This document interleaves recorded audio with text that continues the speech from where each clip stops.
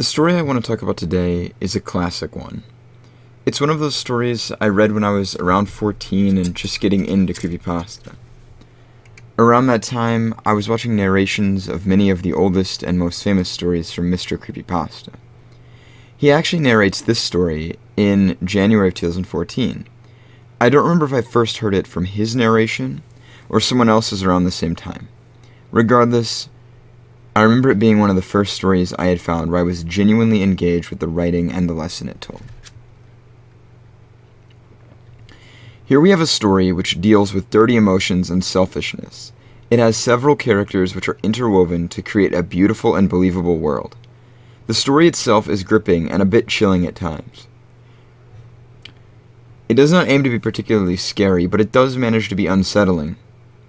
Given that this is such an early story, many of the elements in it feel fresh and original. I aim to take a close look at it and explain what exactly it is that makes the cell phone game stand above countless other forgettable or cliche stories from its time. There will be a link to the original story in the description, as well as the Mr. Creepypasta narration, which is worth a listen if you haven't heard it. The cell phone game actually has a few parallels to Borrasca in its setup. It features the narrator, who goes by Jack, move to a new town and become exposed to a small, tight knit group of high school students. The students are each introduced, and we are slowly fed information about the cell phone game itself, leading for us to read on and wonder.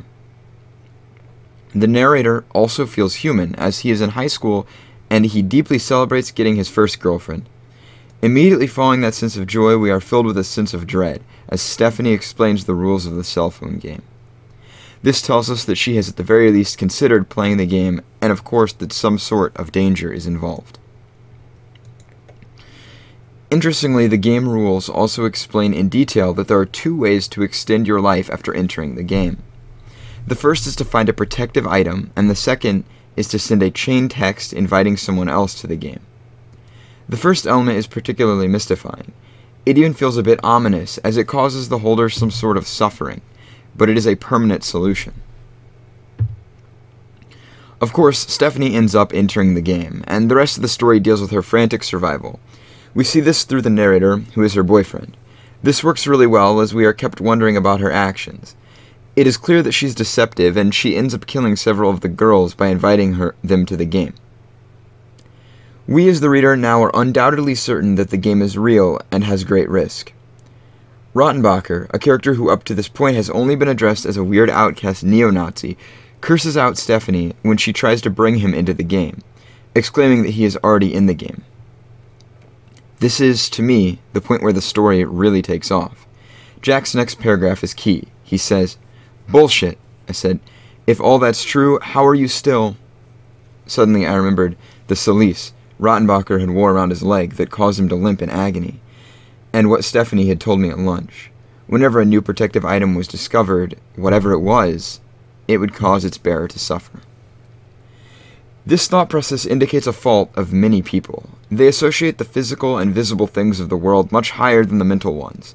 This would be especially true in Rottenbacher's case, as he's an outcast, and therefore no one really knew him. Jack guesses that the harm he inflicts on his leg is the way that he initiates protection.